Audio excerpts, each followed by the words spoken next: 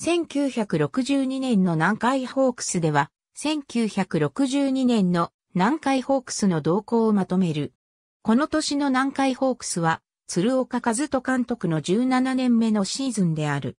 1961年の日本シリーズで巨人にリベンジを許したものの、前年パリーグ制覇のチームはこの年も開幕前から優勝候補に挙げられた。しかし、前年までと違って開幕ダッシュに失敗。5月中旬まで最下位だったことから、今年の南海はもう死んだの声が世間やマスコミから出始めた。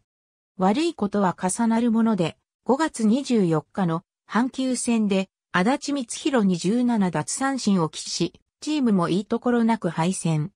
その試合を最後に、鶴岡監督は休養に入り、影山和夫ヘッドコーチが監督代行に就任。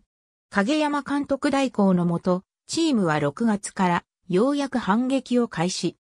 大型連敗を繰り返した前半とは、打って、代わり大型連勝が続き、影山に代わって鶴岡が復帰した8月以降は、東映とのゲーム差を大幅に詰め合わや、大逆転優勝かと思われたが最後は、力尽き、貯金も前年の36から16へと半減したが、なんとか2位を確保した。投手陣は、杉浦忠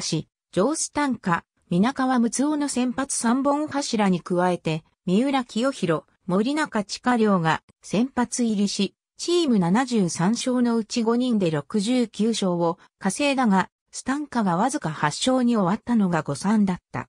一方の打撃陣は、リーグ1位の119本塁打に加え、盗塁数も、東映の149個に次ぐ137個を記録した。ありがとうございます。